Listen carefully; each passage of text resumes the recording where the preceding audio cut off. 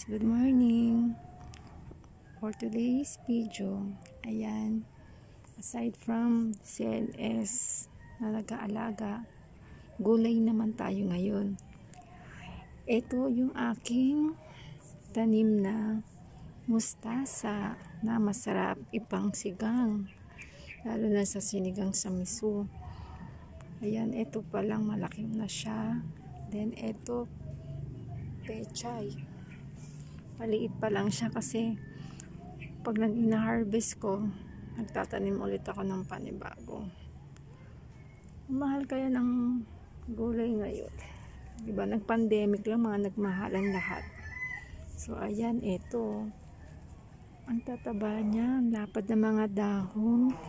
Kasi lapad, malaki pa sa palad ng kamay ko eh. Ayan o. Oh. Ayan o. Oh. Taba, nakakatuwa, 'di ba? Yung panagtanim ka eh may kita mo yung result ng tanim mo tapos makakapag-harvest ka. Sino po ba dito yung nakaka-relate na ganun din? Ang tataba niya, 'di ba? Pitas-pitas na lang kapag gusto mo kapag nangailangan kasi yung lulutuin. Yan. Ito naman mustasa. Ito nahaluan ng pechay. Pechay. Ang lapad niya, oh. Ang taba. Yan. Bala ko rin magtanim ng lettuce kasi favorite ko din yun eh. Lalo na sa salad. Pag nagpe-vegetable salad. Yan. Ang taba niya. Tapos meron din akong siling tanim tsaka kangkong. Ito, pakita natin guys. Ito, ito ng aking sili. Isang siling labuyo ba to? Kasi mahaba siya. Eh.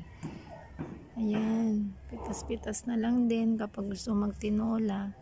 Pipitas na lang din tayo ng dahon. Nilagay ko lang siya sa plastic ng ice cream. Yan.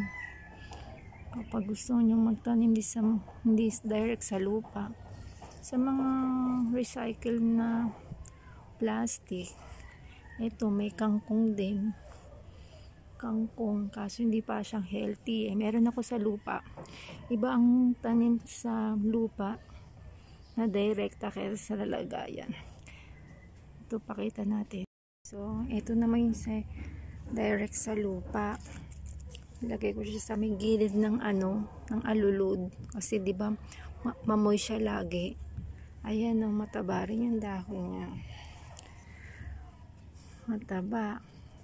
Kapag gusto rin natin manahog sa sinigang pitas-pitas na lang din. Ayan. Tipid-tipid sa um, di ba? Nakamenos tayo sa mamilin pag kailangan natin magluto ayan pipitas na lang tayo sa likuran ng bahay natin. Nakakatuwa no?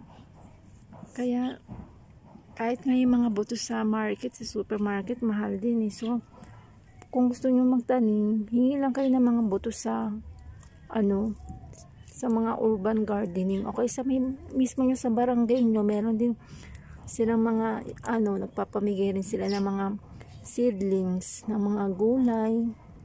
Ganon. Yan. Ayan muna guys. Ay, ito, ito lang yung short video ko sana eh sa mga nakasubscribe sa akin thank you sa mga nakakapag-view ng video ko. Bago pa lang ako dito eh sa aking youtube channel. So ayan. Ayan muna guys salamat. Thank you. Have a nice day to all